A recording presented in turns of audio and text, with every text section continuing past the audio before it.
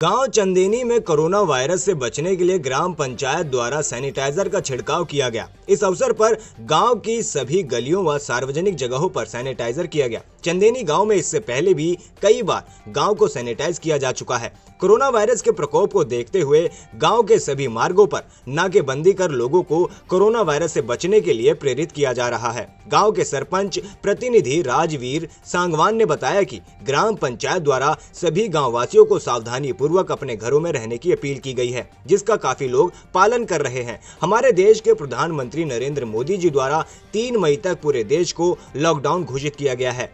इस मुसीबत के समय हमारा भी कर्तव्य बनता है कि हम सब देशवासियों को मिलकर सरकार के आदेशों का पालन करना चाहिए। ये कोरोना महामारी सभी देशों के लिए बड़ी चुनौती है। जिसका हमारा देश डटकर मुकाबला कर रहा है। इस कोरोना महामारी से बचने के लिए बार बार अपने हाथों को धोना चाहिए और सोशल डिस्टेंसिंग रखना बहुत ज़रूरी है। हम सबको जरूरतमंद गरीब लोगों की मदद करनी चाहिए। इस अवसर पर समाज सेवी सुरेंद्र आर्य ने बताया कि हमारे देश के युवाओं को इस समय आगे आना चाहिए और समाज के लोगों को जागरूक करना चाहिए।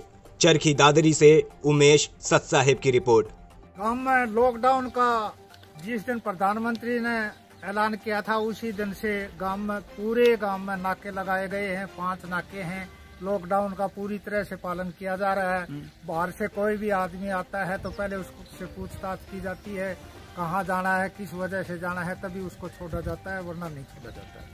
और जैसे कि अभी आज प्रधानमंत्री ने जो है आदेश दिया कि जो है तीन मई तक लॉकडाउन का जो है पालन किया जाएगा तो इसमें ग्रामवासियों का आप क्या संदेश देना चाहेंगे तीन मई तक वो अपने किस प्रकार से जीवन यापन करें ग्राम वासियों से मैं यही प्रार्थना करूँगा कि प्रधानमंत्री जी ने तीन मई तक जो लॉकडाउन का समय आगे बढ़ाया है, इसको सभी मिलजुल करके जैसा पहले था, वैसे ही आगे भी चलाएँ।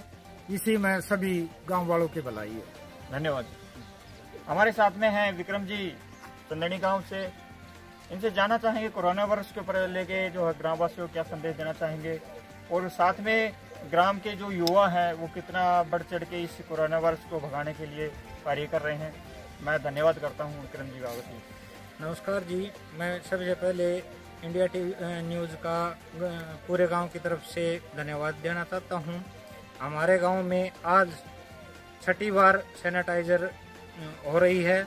हम सरकार ने जो आदेश दिए हैं, उसका पूरी तरह से पालन करे हैं और मैं सरपंच प्रतिनिधि राजवीर सांगवान का भी बहुत धन्यवाद करना चाहता हूँ कि वो युवाओं को बढ़ चढ़ कर उनका साथ दे रहा है और उन्होंने अपने गाँव की चौगर चारों तरफ़ से ठिगरी पैरे लगाए हुए हैं और कम से कम तीन चार बार उनको संभाल के आते हैं और युवाओं का साथ देते हैं। और आगे भी प्रधानमंत्री जी ने जो तीन मई का समय दिया है, उसका भी हमारा गाँव पूरी तरह समर्थन करेगा और हम लॉकडाउन का पूरी तरह समर्थन कर रहे हैं।